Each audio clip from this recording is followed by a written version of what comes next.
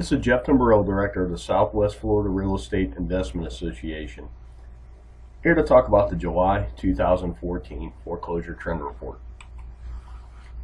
Sharp jump with 204 mortgage related lis pendens up sharply from the month before 187. There is sarcasm there if you're not detecting it.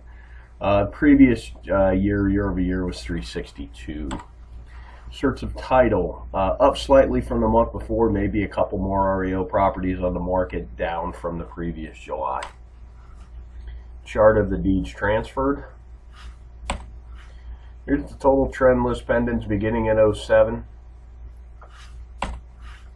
Here's from the peak of the trend to give you an idea of where we are today. More importantly, from 2013, pretty sure this is our new normal. We're going to bounce probably from 350 to somewhere in the 150 range.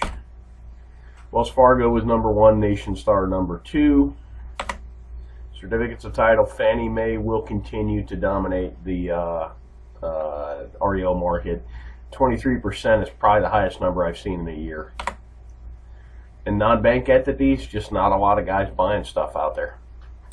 To talk about a neat event we've got coming up this coming Thursday. I'm taping this video on August the 4th. August the 7th at the Hut in Buckingham. Really neat place to have lunch. If you haven't been there since they reopened, it's a nice place. Uh, we're kind of doing a series where investors tell their story. Uh, this month at the luncheon, Matt Zacharias uh, is going to tell a story. He started investing in Lancaster, Ohio, uh, bought a bunch of row homes, apartment buildings, sold them, came down here. I think he owns seven or nine properties down here now uh, that he owns. Plus, he has his contracting business. Uh, non-members, it's five dollars plus the cost of your lunch. Members, it's only the cost of your lunch.